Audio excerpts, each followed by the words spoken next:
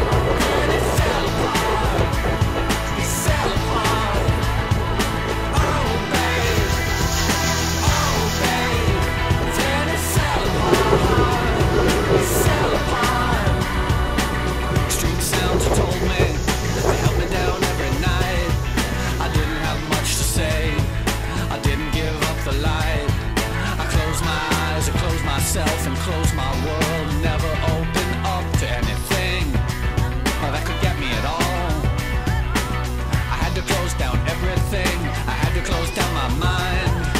Too many things could cut me, or too much could make me blind. I've seen so much in so many places, so many heartaches, so many faces, so many dirty things.